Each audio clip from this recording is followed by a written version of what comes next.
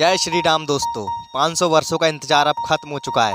राम लल्ला अपने महल में विराजमान हो चुके हैं। तो आज के इस वीडियो में हम राम लल्ला और उनके महल से रिलेटेड उस इतिहास को जानने वाले हैं, जो प्रत्येक सनातनी के लिए जानना बेहद आवश्यक है। वह गर्व की बात है। यहाँ से प्रश्न भी बन सकते हैं आपकी आगामी परीक्षाओं में। तो कृपया वीडियो को पूरा एंड तक ध्यान पूर्वक सुनना है। नीचे कमेंट सेक्शन भर जाना चाहिए जय श्री राम के नाम से और वीडियो को प्रत्येक सनातनी तक पहुंचाना आप लोगों का काम है। तो चलिए शुरू करते हैं। तो आइए आपको इतिहास में ले चलते हैं। 1526 से शुरू हुआ था ये सिलसिला। जब मुगल शासक बाबर भारत आया और उसके दो साल बाद उसके सूबेदार मीर बाकी ने अयोध्या में एक मस्जिद बनवाई, जो श्री राम जन्मभूमि पर बनी थी।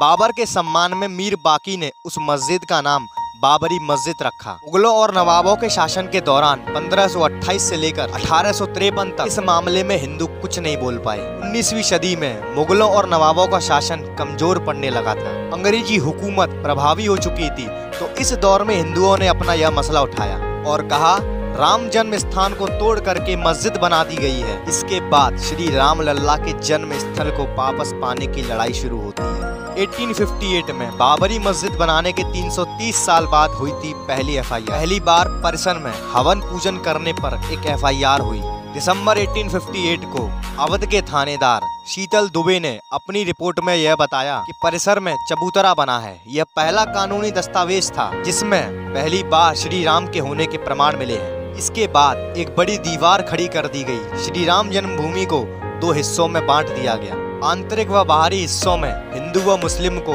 पूजा अर्चना व नमाज़ पढ़ने की अनुमति दी गई। सन 1885 जब अदालत तक पहुँची श्री राम जी के पक्के घर बनने की बात। अठारह सौ अट्ठावन के इस बंटवारे के बाद अब ये लड़ाई अदालत तक पहुँच चुकी थी। दास ने बाबरी ढांचे के बाहरी आँगन में स्थित राम चबूतरे पर बने अस्थायी मंदिर को पक्का मंदिर बनाने की बात कही। तब उस टाइम के मौजूदा जज ने यह फैसला सुनाया उस जगह पर हिंदुओं को भी पूजा अर्चना करने का पूरा अधिकार है। लेकिन जिला अधिकारी के फैसले के खिलाफ उस जगह पर पक्का मंदिर बनाने की अनुमति हम नहीं दे सकते। ये बात कही थी वहाँ के उस टाइम के मौजूदा जज ने। फिर 1949 में जहाँ एक और भारत अंग्रेज़ों से आज़ादी की मुहिम लड़ रहा था, उस समय पर श्री राम जन्मभूमि का विवाद भी शांत नहीं हुआ था। तो दूसरी ओर श्री राम जन्मभूमि की लड़ाई भी जारी थी। देश आज़ाद होने के दो साल बाद 1949 को 22 दिसंबर को ढांचे के भीतर गुंबद के नीचे मूर्तियों का प्रकटीकरण हुआ। 1950 की आज़ादी के बाद हिंदुओं का पहला मुकदमा हिंदू महासभा के सदस्य गोपाल सिंह विशारद 16 जनवरी 1950 को फैजाबाद की अदालत में दायर किया और प्रकट हुई मूर्तियों की पूजा अर्चना की मांग की। 11 महीने बाद 5 दिसंबर 1950 को एक और मुकदमा दाखिल होता है, जिसमें दूसरे पक्ष को पूजा अर्चना में बाधा न डालने की मांग की गई। के बाद 1959 में निर्मोही अखाड़े ने मांगी पूजा अर्चना की अनुमति, जहाँ इस कड़ी में एक और मुकदमा 18 दिसंबर 1961 को दर्ज किया गया। और उत्तर प्रदेश के केंद्रीय बोर्ड ने यह बात ज़ाहिर की यह जगह मुसलमानों की है। हिंदुओं से लेकर यह जगह मुसलमानों को सौंप दी जाए और जो मूर्तियाँ प्रकट हुई हैं, उनको भी वहाँ से हटा दिया जाए। ये तमाम मामले न्यायालय में चलते रहे। उसके बाद 1982 हिंदू धर्म स्थलों की मुक्ति का अभियान चलाया गया। ये वो साल था जब विश्व हिंदू परिषद ने राम कृष्ण और शिव के स्थलों पर मस्जिदों के निर्माण को साजिश करार दिया। और इनकी मुक्ति के लिए अभियान चलाने का ऐलान किया। दो साल बाद 18 अप्रैल 1984 को दिल्ली में संत महात्माओं और हिंदू नेताओं ने श्री राम जन्मभूमि की मुक्ति और ताला खुलवाने के लिए आंदोलन का फैसला लिया। इसके बाद 1986 में परिसर का ताला खुला।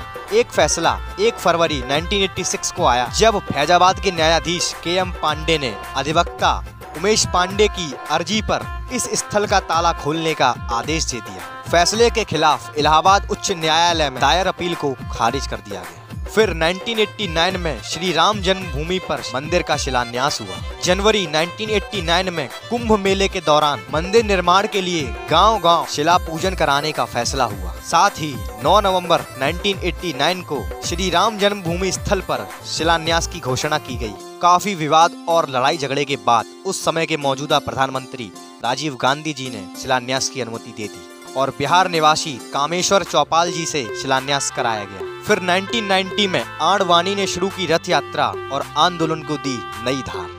1990 के दशक में आंदोलन तेज हो रहा था। इस बीच सितंबर 1990 को लाल कृष्ण अडवाणी जी रथ यात्रा लेकर निकले। इस यात्रा ने श्री राम जन्मभूमि निर्माण को और धार इस यात्रा ने श्री राम जन्मभूमि आंदोलन को और धार दे दी। देश की राजनीति भी तेज़ी से बदल रही थी। और अडवाणी जी गिरफ़्तार हो गए। गिरफ्तारी के साथ साथ केंद्र में सत्ता परिवर्तन भी हुए। भाजपा के समर्थन से बनी जनता दल की सरकार गिर गई और कांग्रेस के समर्थन से चंद्रशेखर जी प्रधानमंत्री बने।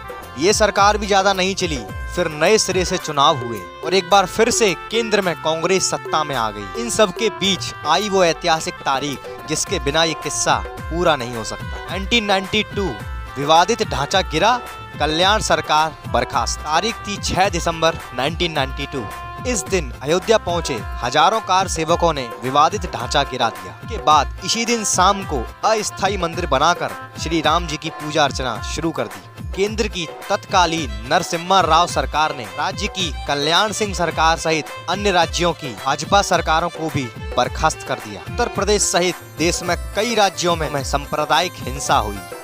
जिसमें अनेक लोगों की मौत हो गई। अयोध्या श्री राम जन्मभूमि थाना में, ढांचा में, ढांचा ध्वंस मामले में भाजपा के कई नेताओं सहित हज़ारों लोगों पर मुकदमा दर्ज कर दिया गया और इसी के साथ ही राम काज की कानूनी लड़ाई में मुकदमों का और इजाफा होने लगा। इसके बाद सन 1993 में दर्शन पूजन की अनुमति मिल गई। बाबरी ढांचे को ढहाए जाने के दो दिन बाद 8 दिसंबर 1992 को अयोध्या में कर्फ्यू लगा दिया गया। वकील हरिशंकर जैन ने उच्च न्यायालय की लखनऊ खंडपीठ में गुहार लगाई कि श्री राम भूखे हैं और राम भोग की अनुमति दी जाए। करीब 25 दिन बाद 1 जनवरी 1993 को न्यायाधीश हरिनाथ ने दर्शन पूजन की अनुमति दे दी। 7 जनवरी 1993 को केंद्र सरकार ने ढांचे वाले स्थान कल्याण सिंह सरकार द्वारा न्यास को दी गई भूमि सहित यहाँ पर कुल सड़सठ एकड़ भूमि का अधिग्रहण कर लिया। उसके बाद सन 2002 में हाई कोर्ट में शुरू हुई मालिकाना हक पर सुनवाई। अप्रैल 2002 में उच्च न्यायालय की लखनऊ खंडपीठ ने विवादित स्थल का मालिकाना हक तय करने के लिए सुनवाई शुरू कर दी। उच्च न्यायालय ने 5 मार्च 2003 को भारतीय पुरातत्व को सर्वेक्षण के लिए स्थल पर खुदाई का निर्देश दिया। सर्वेक्षण ने न्यायालय को रिपोर्ट सौंपी। इसमें संबंधित स्थल पर ज़मीन के नीचे एक विशाल हिंदू मंदिर होने की बात कही गई। के बाद क्या था? 2010 इलाहाबाद उच्च न्यायालय ने दिया ऐतिहासिक फैसला। 30 सितंबर 2010 को इलाहाबाद उच्च न्यायालय ने तीनों पक्षों में बराबर बांटने का आदेश दिया। न्यायाधीशों ने बीच वाले गुंबद के नीचे जहाँ मूर्तियाँ थीं, उसे जन्म स्थान माना। इसके बाद यह मामला सर्वोच्च न्यायालय तक पहुँचा।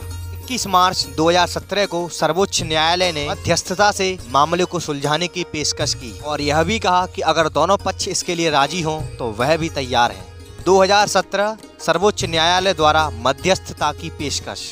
अयोध्या में श्री राम जन्मभूमि की लड़ाई अब देश की सर्वोच्च न्यायालय तक पहुँच चुकी थी। इसके बाद क्या था? 2019 सुप्रीम कोर्ट का फैसला और श्री राम मंदिर निर्माण का रास्ता साफ़ हो गया। लेकिन इससे पहले 40 दिन तक लगातार सुप्रीम कोर्ट में सुनवाई हुई। 9 नवंबर 2019 को 134 सालों से चली आ रही लड़ाई में अब वक्त था। अंतिम फैसले का। 9 नवंबर 2019 को सर्वोच्च न्यायालय ने संबंधित स्थल को श्री राम जन्मभूमि माना और 2.77 एकड़ भूमि श्री राम लला के स्वामित्व की मानी। वहीं निर्मोही अखाड़ा और सुत्री वक्फ बोर्ड के दावों को खारिज कर दिया। इसके साथ ही कोर्ट ने यह निर्देश दिया कि मंदिर निर्माण के लिए केंद्र सरकार मंदिर निर्माण के लिए तीन महीने के अंदर ट्रस्ट बनाए और ट्रस्ट निर्मोही अखाड़े के एक प्रतिनिधि को शामिल करे। इसके अलावा यह भी कहा कि मुस्लिम समाज को मस्जिद बनाने के लिए पाँच एकड़ भूमि उपलब्ध करवाई। इसके बाद क्या था? 2020 आया और श्री राम लल्ला के मंदिर के निर्माण की आधारशिला का निर्माण शुरू हो गया। इसी के साथ दशकों से चली आ रही लंबी कानूनी लड़ाई समाप्त हो गई। अब बारी थी श्री राम लला के मंदिर के निर्माण की। 5 फरवरी 2020 को प्रधानमंत्री नरेंद्र मोदी जी ने अयोध्या में श्री राम मंदिर के निर्माण के लिए राम जन्मभूमि तीर्थ क्षेत्र ट्रस्ट की घोषणा की। ठीक छह महीने बाद 5 अगस्त 2020 को श्री राम मंदिर की आधारशिला रखी गई, जिसमें पीएम मोदी भी शामिल हुए। एक साल चली कानूनी लड़ाई के बाद, अब अयोध्या में भव्य राम मंदिर का निर्माण होने लगा था, जो कि श्री राम जन्मभूमि पर मंदिर के पहले चरण का काम था। इसके बाद की कहानी दोस्तों हम सभी जानते हैं 2024 बहुत ही लकी साल हमारे लिए साबित हुआ, श्री राम मंदिर बनकर तैयार हुआ। 134 साल की कानूनी लड़ाई के बाद, श्री राम मंदिर भव्य मंदिर बनकर के तैयार हो चुका था। अब बारी थी प्राण प्रतिष्ठा की। तो दोस्तों, हम सभी जानते हैं कि 22 जनवरी 2024 की वो तारीख एक ऐसी ऐतिहासिक तारीख थी जिसे शायद ही कोई सनातनी भूल पाए। जब मंदिर में भगवान श्री राम की प्राण प्रतिष्ठा हुई, वो नज़ारा, वो अलौकिक दृश्य देखने लायक था। हम सभी लोगों ने टेलीविज़न और इंटरनेट के माध्यम से उस आनंद का, उस ऐतिहासिक पल का लुप्त उठाया। हम सभी कितने भाग्यशाली हैं। राम लल्ला हम सभी की आँखों के सामने आए और हम दर्शन कर पाए। ये कहानी इतनी रोचक थी कि मुझे पता ही नहीं चला कि वीडियो इतना लंबा हो गया, आप सभी लोग अंत तक बने रहे, इसके लिए आप सभी का बहुत बहुत धन्यवाद। अगर दिल से श्री राम के प्रति आपके अंदर भावनाएँ हों तो इस वीडियो को प्रत्येक सनातनी तक पहुंचाओ, उन्हें बताओ कितनी मशक्क़तों के बाद आज हम ये भव्य नज़ारा देख पा रहे हैं, जो अयोध्या जी में बनकर के तैयार हुआ है। इसी के साथ मैं यशवर्धन तैनगोरिया अपनी वाणी को विराम देता हूँ और सभी लोगों को जय श्री राम।